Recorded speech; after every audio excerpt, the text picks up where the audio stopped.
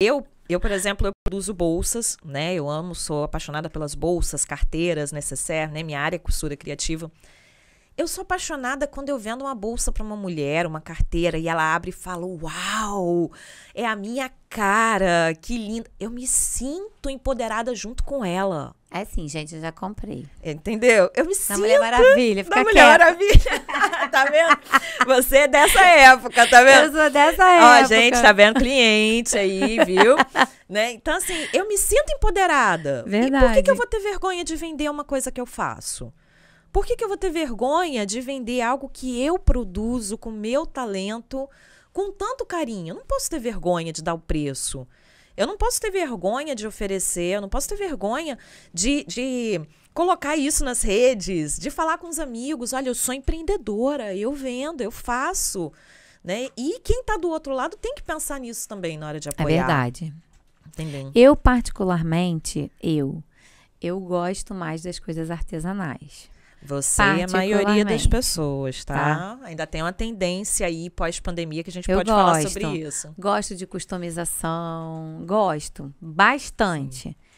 Só que, às vezes, a gente não tem tanto acesso, por incrível que pareça. E eu acredito que seja exatamente pelo que você está falando. É, Pelas pessoas não quererem mostrar e terem vergonha mesmo, o, É. o talento que elas têm. eu criei um conceito esse ano que se chama novo artesanal. Uhum. Esse conceito do novo artesanal, ele é justamente esse conceito que você falou. Porque assim como você gosta de peças, produtos diferenciados, porque uma coisa que eu faço pra Kate tem muito mais valor do que uma coisa que você vai comprar em qualquer loja, Sim, você chega numa loja, né? né? É o, é o que todo mundo tem. Se eu colocar Eu um... amo ir pra brechó diferente. Pois é, Por é, causa disso. é uma coisa diferenciada, é única, Porque a pessoa olha, nossa, que bonito isso aí. é única, é exclusiva, é exclusiva. É meu, comprei. Então, assim, quando você.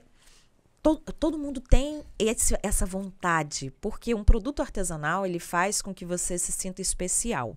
Uhum. Mas e por que, que a gente não acha? Por que, que a gente não encontra? Por que, que a gente não acha isso nas, nas lojas ou nas redes sociais? Porque as artesãs não estão inseridas nesse mercado digital do marketing, do branding. Que hoje a gente tá vendo demais. isso. Demais demonstrar o teu produto. Mas uma outra coisa também, não te cortando, assim, que a gente percebe um pouco. A customização, quando ela, ela cresceu um determinado ponto, né? Teve Uhum. um período antes da pandemia. Eu não lembro qual foi o ano, mas eu lembro, assim, que a gente customizava tudo. Sim. Era com cola de, de tecido. Você Teve lembra? a época do tie-dye também. tie-dye, enfim. Sim. E aí parece que a coisa, assim, todo mundo fala assim, ai, ficou muito caro, Uhum. né? Eu, eu escuto muito isso. Sim. Ah, mas customizado é muito caro, né? Mas ele é único. É caro. É único, É caro. né? O novo artesanal ele não é para todo mundo. Ele é para quem acho. ele é para quem quer pagar, pra ele quem é, diferente. Ele é para quem é diferente. E quando eu falo assim, não é para todo mundo, não é que vai ser só para uma população com uma classe alta, uma renda alta, não.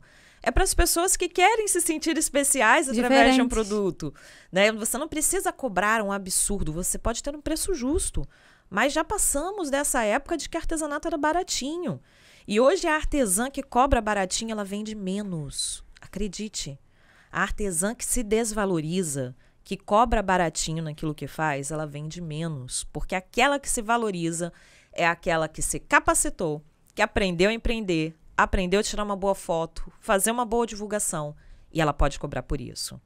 A gente cobra É por conhecimento. E até a diferença tá, tá, tá no detalhe de uma embalagem, Sim. um- né? A gente vai numa feira de artesanato e aí você pega aquilo que vai dentro de um saquinho, É, o saco plástico, igual do supermercado. Né? Isso quando não é o próprio saco do supermercado. Isso. E aí, não. Aí já tem uma que tem ali.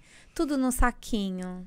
Tudo tem um lacinho. Cheirosinho, Tem um lacinho. uma tag. Que de repente ela já tem o cheiro personalizado do negócio Sim, dela, né? Que faz parte do branding. que faz parte do brand. Eu sei porque aí você você olha aquilo ali e fala assim: "Nossa, que mimo, que coisa É. gostosinha". Eu comprei um pão essa semana, um pão, um pão, Uhum. pão com a Tati. A Tati faz pão artesanal, eu amo o pão dela. Mas assim, aquele detalhe de estar dentro do saquinho, de ter uma fitinha, de ter um papel em volta. Você não se sente especial eu comendo falei, um pão nossa. desse? Aí falou assim: ah, mas o pão é esse valor? Eu falei assim, gente, mas o sabor é artesanal, é esse detalhe. É, eu mereço. Eu mereço. Eu mereço. Eu tomo com meu vinho, né? Vivian da Vinho Certo. É, mas é A essa. Tati é da Vinho e também essa é da gente. história do eu mereço vai muito daí. A pandemia ela mexeu muito com as pessoas. Ela veio para nos trazer um nível de consciência que eu acho que estava bem esquecido, né? Do eu preciso viver o hoje. Eu posso me planejar, devo me planejar, devo me planejar para o futuro, mas eu não posso deixar de dizer que eu amo hoje. É. Eu não posso. hoje. Eu não posso deixar de me amar hoje. Eu não posso deixar de me mimar hoje. Eu mereço o melhor todos os dias. Eu mereço abundância, prosperidade, produtos artesanais diferenciados criados para mim. Né? Então, esse conceito de merecimento fez com que uma grande parcela da população buscasse por produtos artesanais. Na Páscoa, o que mais se vendeu foi chocolate artesanal. Aqui é muito mais gostoso e mais barato. Entendeu? E Para pra pensar, é não, até mais barato. E mesmo que Porque fosse mais caro. Aquele chocolate que a gente já tá acostumado, que vem aquele Não brinquedinho. tem o mesmo gosto, não. Não tem, gente. Não.